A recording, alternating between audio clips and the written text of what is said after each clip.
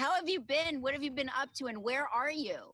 I'm in Connecticut. I'm up to uh, more than more than I ever thought I'd be up to a month ago this time. And Right. uh, and and and we're doing, you know, we're doing well, all things considered. I guess that's that that's the new answer to our new normal, all things considered. School is done, right? Is that right? School is done for your kids? School is done, um, and we're all very happy about that. Especially my my my first grader, she was done with me. Done. so yeah, they, they they finished that, and the question is just how to keep them from watching ten hours of television a day. Yeah. We talked to a psychologist on our show that said we're supposed to allow the kids like unlimited screen time during pandemic. And I, I don't. Is that I- true? I actually said, great, done. Check.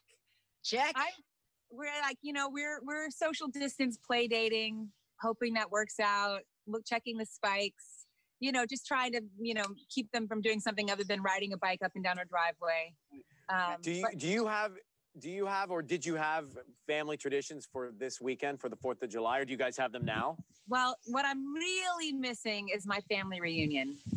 We would have been in, uh, gosh, Birmingham, Alabama, or Detroit, or I think there was Gatlinburg. I think some someplace we were we were gonna do we were gonna go to this year, and uh, it's a crazy concept that it would be we would kind of it would be a risk of our lives to come together. That's that's Yeah. still that still makes me sad. So we will zoom. We will zoom up, but that's what we would have been doing.